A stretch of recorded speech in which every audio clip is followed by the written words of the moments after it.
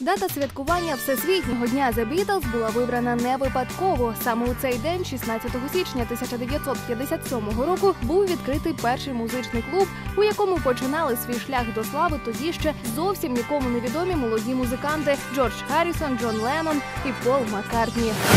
16 січня відзначається День льодовара. Льодовар це людина, яка заливає лід на катках та льодових аренах. Ніби нічого особливого на перший погляд, але як виявилося, це дуже цікава та особлива професія. Комбайн для відновлення льоду на катках винайшов американець Френк Замбоні. Саме його день народження врешті став днем льодовара. До винаходу ресурфейсера лід відновлювали та заливали вручну.